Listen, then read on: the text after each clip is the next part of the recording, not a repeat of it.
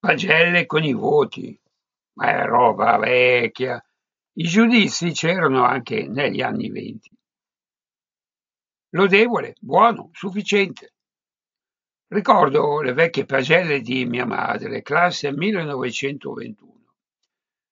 Ricordo la bella scatola di legno lucido in cui erano conservate insieme a foto e documenti di altri tempi.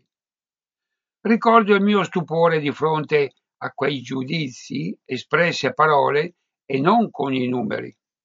E la mia mamma che mi spiegava che lodevole era più o meno come un 9 un 10, che con un buono si stava sul 7 e che un sufficiente corrispondeva a un 6. Erano pagelle della fine degli anni venti, con buona pace di chi dice che oggi, con il ritorno ai voti, si fa un passo indietro di 30 anni.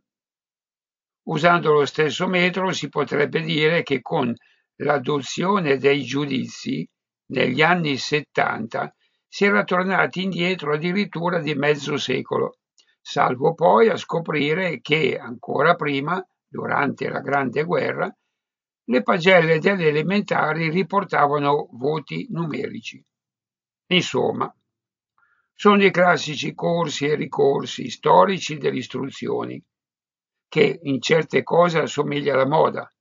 Gonne corte, gonne lunghe, scarpe a punta, scarpe bombate, giusto per farti cambiare il guardaroba.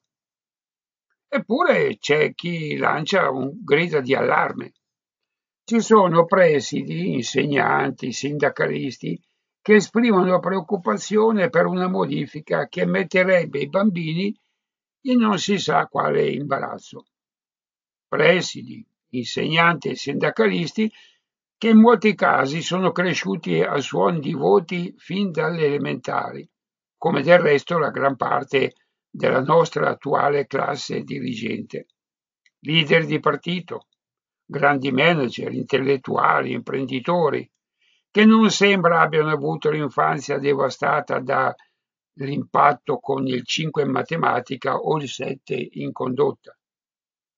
Per tutti loro, quelli che hanno fatto le elementari dalla fine della guerra agli anni 70, i giudizi espressi in parole erano limitati alla valutazione di prove di secondaria importanza. I compiti a casa, qualche esercizio non decisivo realizzato in classe.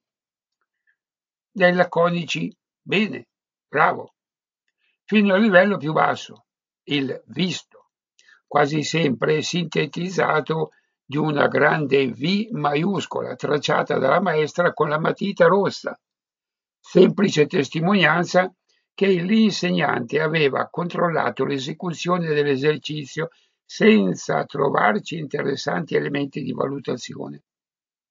Scarsissimo, quindi, anzi quasi nullo l'interesse dell'alunno per i giudizi espressi a parole.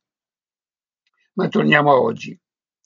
Quanto ci può mettere un vivace ragazzino del terzo millennio a capire che con il 6 si è promossi e con il 5 no, e che a prendere 8 è decisamente meglio che prendere il 4?